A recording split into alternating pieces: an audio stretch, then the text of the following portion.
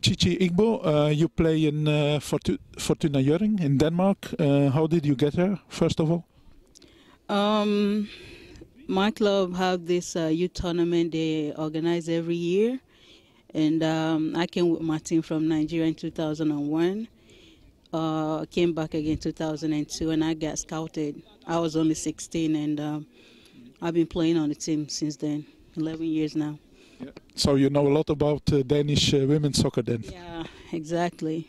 It's been um, uh, it was challenging in the beginning, but like you know, culture-wise, and you know, coming into a new team, and you know, African pattern of football is different from European. It took me time, but um, it's been great. It's been a great journey so far.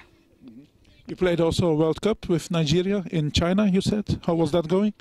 Uh, it was a great experience. Um, I think we played against uh, Sweden, U.S., and um, North Korea. It didn't go too well, but all in all, it was a great experience to experience football in that level. Like it doesn't get bigger than that.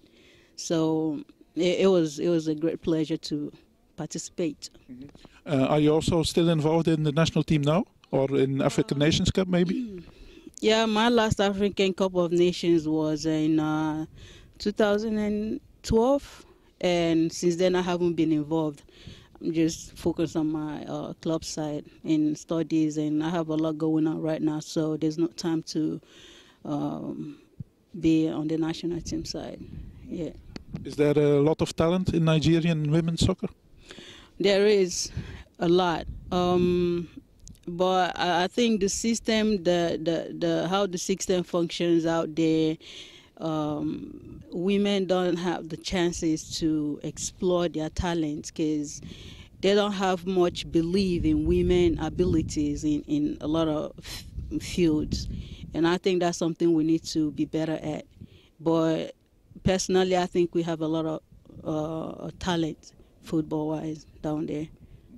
So. And then finally, it's the preparation of the season. How do you look at the next coming season? Is it again a championship between Brøndby and Fortuna Hjørring? there's always been uh, it's always against Fortuna and Brøndby. Um, but like our few last games haven't been like we we've been on the top, you know. So our focus now is to win the championship again this year, and come maybe uh, further in the Champions League as well. You know, um, we just that's why we out here trying to build up a team and play better together, and you know, bring something good to the table this season. Okay. Thank you and good luck for the season. Thank you very much.